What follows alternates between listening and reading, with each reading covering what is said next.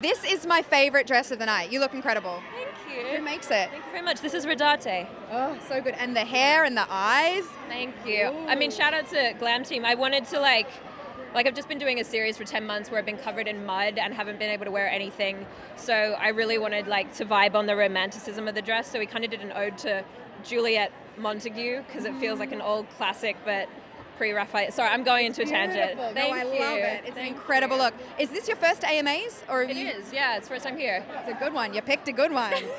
Who are you looking forward to seeing? I, I know I know I was going to be asked this question, um, and honestly, I couldn't think of one person in particular. I've met, I feel like I've kind of met a few people in passing. Like, I feel like Billie Eilish is. It's so many people are going to be like, hello, hello, and I've met her a couple of times, and that was really cool.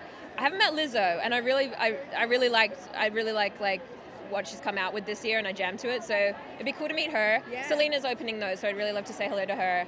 Um, I mean, Yeah. her songs that she has out at the moment are like the best breakup anthems. Anyone who's been through a breakup, you put on those songs, you're like, oh, I'm not alone. Yeah, no, she's just so sincere. She's such like a beautiful soul. So it's so nice to hear her music and, and to see her tonight. And you are working on music, is that right? Did I hear that correctly? Yes, yeah, yeah, a little bit. I, it's weird. I feel like I don't know how to talk about it because it's it's it's literally it's been so long in the making, and because I had the show, it was like Yeah. we had to wait for such a long time to do it. But I have been here and I have been recording, and that's been nice to kind of get back into it. I'm not saying anything's coming out, but if it does come out, then What kind of yeah. music? What kind of music do you do?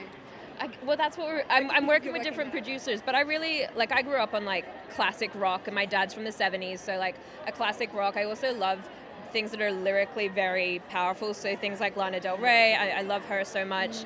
Um, so yeah, kind of just like lyrically potent old rock, classic rock. We'll see what it, we'll see what it kind of turns into. Well, I can't wait Yeah. to hear it. I'm Yeah. so excited for you. And Thank Knives you. Out on Thanksgiving. Everyone's going to go out and see that. So good. best movie. I you. keep saying best movie I've seen this year. It's so good. Oh, thank you so it. much. And I'm so proud of you. You're just divine. Keep flying the flag for us Aussies. Oh, Love it. you. Bye, honey.